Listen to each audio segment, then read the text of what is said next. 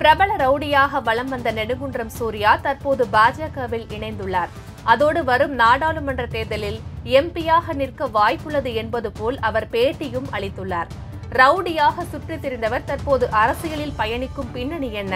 யார் இந்த நெடுங்குன்றம் சூர்யா? காவல்துறை நெருக்கடியால் தான் நான் பாஜகவில் சேர்ந்தேன்னா கிடையாது. கண்டிப்பாக எங்கள் தலைமை சொன்னால் நாங்கள் எல்லாத்துலேயும் போட்டிடுவோங்க எங்களோட தலைமைகள் ஆலோசனைப்படி தான் நாங்கள் நடக்க போகிறோம் வன்முறையே நாடக்கூடாது வன்முறை எதுக்குமே தீர்வு ஆகாது. அரசியல் இருக்குது. எந்த அரசியல் உங்களுக்கு தெளிவான அரசியல் நல்ல அரசியலோ அந்த அரசியல் அந்த அரசியல் பண்ணுற தலைவர் கூட பயணம் பண்ணுங்க. இதில் இளைஞர்கள் நிறைய பேர் தவறாக பயன்படுத்துகிறாங்க அவங்க பயன்படுத்துறவங்கள கரெக்டாக அவங்களே களை எடுத்துட்டாங்கன்னா அது கரெக்டாக ஆயிடும்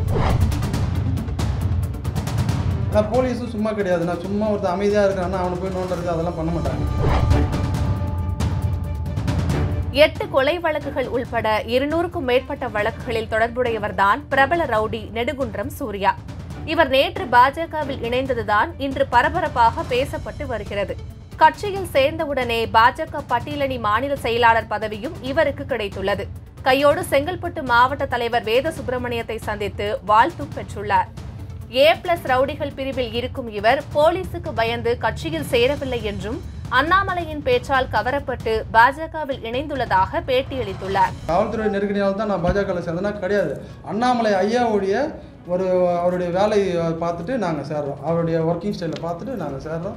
அவர் அந்த அளவுக்கு எங்களை எல்லாருமே கவர்றாரு. எங்களை அந்த அளவுக்கு நேசிக்கும் போது தமிழக மக்களையும் அவர் நேசிக்கிறார். என் மண் என் மக்கள்னு சொல்லிட்டு இன்றைக்கி ஐயா அவர்கள் வந்து இந்த ஃபுல்லாக நடைபயணம் மேற்கொள்கிறாரு அப்போ அவ இந்த மாதிரிலாம் நிறைய தலைவர்கள்லாம் பண்ணல.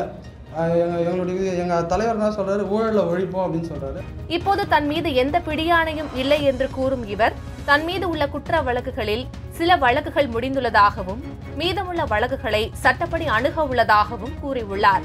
வழக்குகள் இருக்குதுங்க வ- வழக்குகள் வந்து மேலே நிறைய வழக்குகள் பற்றி கூட இடையில கூட நக்கீரன் பத்திரிகை ஆசிரியர் அண்ணா சொன்னாங்க மேலே இரநூத்தி சில்லற வழக்குகள் இருக்குது அப்படின்னு சொல்லிட்டு. அதில் சம்திங் சம்திங் வழக்கெல்லாம் இருக்குதுன்னு கூட அது பட்டியல் உங்களுக்கு தெரியும். அதுமாதிரி என் மேலேயும் கொஞ்சம் வழக்குகள்லாம் இருக்குது. எல்லாமே நிலுவையில் இருக்குது. இன்றைக்கி ஸ்டில் வந்து எனக்கு எந்த கேஸும் வந்து வாரண்டில் கிடையாது.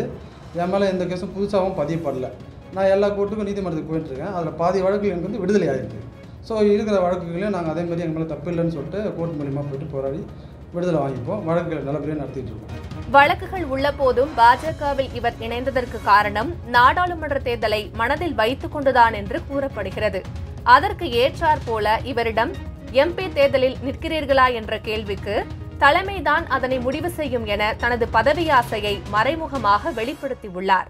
கண்டிப்பாக எங்கள் தலைமை சொன்னால் நாங்கள் எல்லாத்துலேயும் போட்டிடுவோம் எங்களுடைய தலைமைகள் ஆலோசனைப்படி தான் நாங்கள் நடக்க போகிறோம் தனிப்பட்ட விஷயங்களை நடக்கிற அளவுக்கு கிடையாது. நம்ம தனிப்பட்ட மனிதனாக இருக்கிறவரும் நம்ம சுயமாக யோசித்து எதனாலும் பண்ணிக்கலாம். இப்போ நம்ம வந்து ஒரு தேசிய கட்சியில் நம்ம பயணிக்கிறோம் போது அங்கே இருக்கிற பெரியவங்க எல்லாரையும் ஆலோசனை பண்ணி தான் எது வந்தாலும் நம்ம நடந்து போகிறோம் கட்சியில் நம்ம வந்து இப்போ பதவியில் நிற்கிறோமோ போட்டிடுறோமோ போட்டியிடலையோ கட்சி வேலை சொன்னால் எல்லா வேலையும் நாங்கள் செய்வோம். ஆரோக்கியமான வேலைகள் எல்லாத்தையுமே நாங்கள் செய்வோம். அது இன்னும் அதை பற்றி ஆலோசிக்கவும் இல்லை அந்த சிந்தனையும் இல்லை. எங்கள் தலைவர்களோ எங்கள் எங்கள் மேலே இருக்கிறவங்களும் பொறுப்பாளர்கள் சொன்னால் கண்டிப்பாக அதை படி நடப்போம் சூர்யாவின் மனைவி விஜயலட்சுமி நெடுங்குன்றம் ஊராட்சி மன்ற துணைத் தலைவராக உள்ளார். இவர்தான் முதலில் பாஜகவில் இணைந்தார். அதன் தொடர்ச்சியாக இப்போது இவரும் இணைந்துள்ளார். இனி என் பெயரை சொல்லி யாராவது ரவுடிசம் செய்தால் காவல்துறை கடும் நடவடிக்கை எடுக்க வேண்டும் என்று சொல்லி தான் இப்போது ரவுடி இல்லை என்பதையும் அவர் தெரிவித்துள்ளார். ரவுடியாக வலம் வந்தவர் அரசியலில் இணைந்து மக்கள் நலனுக்காக செயல்படுவாரா? மக்களவை தேர்தலில் காஞ்சிபுரம் தொகுதியில் இவர் போட்டியிடுவாரா என்பதையெல்லாம் பொறுத்திருந்து பார்க்கலாம்.